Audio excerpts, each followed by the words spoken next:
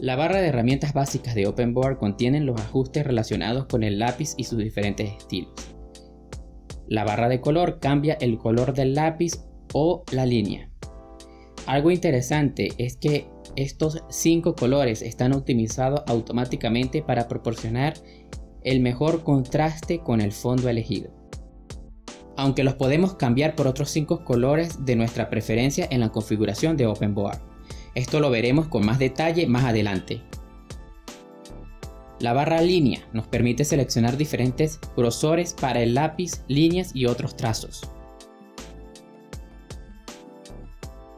Al igual que los colores, podemos cambiar el grosor en la configuración de OpenBoard.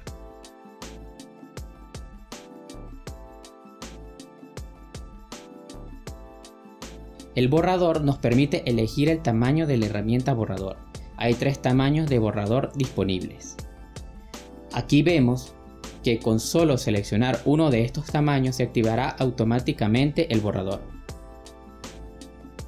Ahora que ya conoces las herramientas básicas, color, grosor de líneas y el borrador, continuamos en el siguiente video con las herramientas avanzadas.